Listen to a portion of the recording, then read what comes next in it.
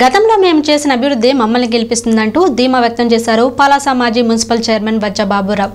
నేను గతంలో చేసిన అభివృద్ధి తప్ప కొత్తగా ప్రభుత్వం ఏర్పడ్డాక చేసింది ఏమీ లేదన్నారు.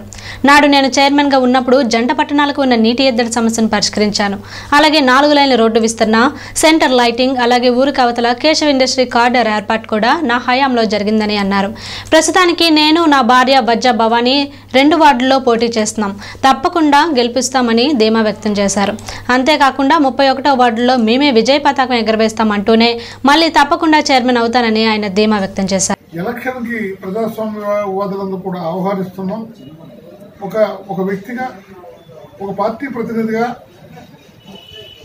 ఈ పలాసా కాసింపు మున్సిపల్ చైర్మన్ అభ్యర్థిగా ఓటు అడిగే హక్కు మాత్రం పలాసా కాసింపులో నాకే ఉందని మాత్రం. హృదయపూర్వకంగా మీ అందరూ కూడా తెలియజేస్తున్నాను.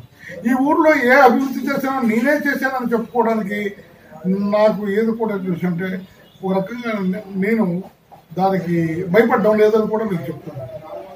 ఈ ఊర్లో మున్సిపల్ ఆఫీస్ కట్టానన్నా అది వద్దబాబురావే కట్టాడు అని చెప్పక తప్పదు.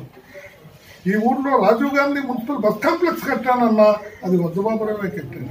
ఈ ఊర్లో మూడు వందల మందికి shopping complex IDSLC shopping complex కట్టామన్నా అది బాబురావే కట్టాడు. ఎవరో ఇంకో రకం అయితే మేస్త్రి కట్టారు కదా అని అనొచ్చు. అది మేస్త్రి కట్టడం కాదు. వల్లభాపురం ఆలోచన విధానం అది. ఆ ఆలోచన విధానాన్ని ఏంటంటే అనేక రకాలైన ప్లాన్స్తో అవన్నీ కూడా సక్సెస్ అయ్యేటట్టు చేశారు. పలాసాకి సెంట్రల్ లైటింగ్ కానీ డివైడర్ కానీ కేటీ రోడ్డు ఒక రకంగా అరవై ఆరు అడుగుల పొడవుతో ఆ కేటీ రోడ్డు కూడా అర్బన్కు వచ్చే కార్యక్రమాలు చేయడం కానీ ఈ సేవా కేంద్రం కట్టడంలో కానీ ఏపీయూఆర్తో డ్రింకింగ్ వాటర్ స్కీమ్ కానీ డంపింగ్ యార్డ్ కోసం స్థల సేకరణ కానీ ఇండస్ట్రీ ఎస్టేట్కి రోడ్డు కానీ పొల్యూషన్ ఈ ఊరు నుంచి తరిమివేయడానికి ప్రయత్నాలు కానీ ఇవన్నీ కూడా ఏంటంటే నా టైంలోనే జరిగాయని చెప్పడానికి నేను సిగ్గుపడటం లేదు బిడిపడటం లేదు మీ అందరికీ నేను తెలియజేసుకుంటున్నాను.